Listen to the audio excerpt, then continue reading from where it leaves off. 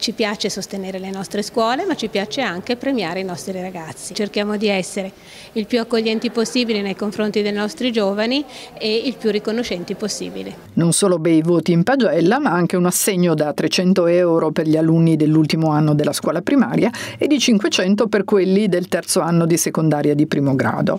Un premio in denaro per chi si è distinto per impegno ricevuto direttamente dalle mani del sindaco Marco Scaramellini e dell'assessore alla cultura, educazione e istruzione Marcella Fratta. La cerimonia quest'oggi nella sala consigliare di Palazzo Pretorio proprio a sottolineare l'ufficialità e l'importanza di questo momento per il presente e soprattutto per il futuro del capoluogo. Ci sembra giusto premiare il merito di chi si impegna, studia, ha dei risultati positivi.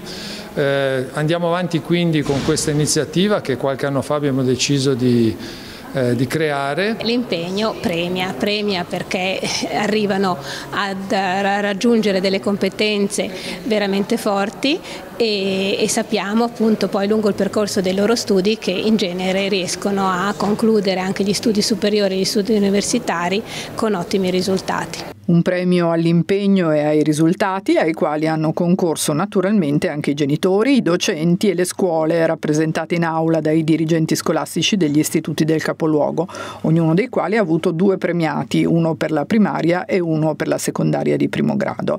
Per l'istituto comprensivo Sondio Centro i migliori alunni sono risultati Lucia Gianatti per la primaria e Chiara Palo per la secondaria. Per l'istituto comprensivo Paesi Retici Anna Pirker e Stella Buzzetti. Per l'istituto l'Istituto Comprensivo Paesi Aerobici Alessandro Agnelli e Teresa Giordano, per l'Istituto Pio XII Paolo Pizzicoli e Arianna Baccarelli. Sono tutti molto consapevoli del loro impegno e anche grati di questo riconoscimento. Spesso noi li interroghiamo per sapere cosa faranno di questo contributo e le risposte sono sempre belle, arricchenti. Ragazzi talentuosi, diligenti e anche saggi, visto che hanno assicurato che il denaro guadagnato grazie al loro impegno lo metteranno da parte oppure lo utilizzeranno per acquistare libri scolastici.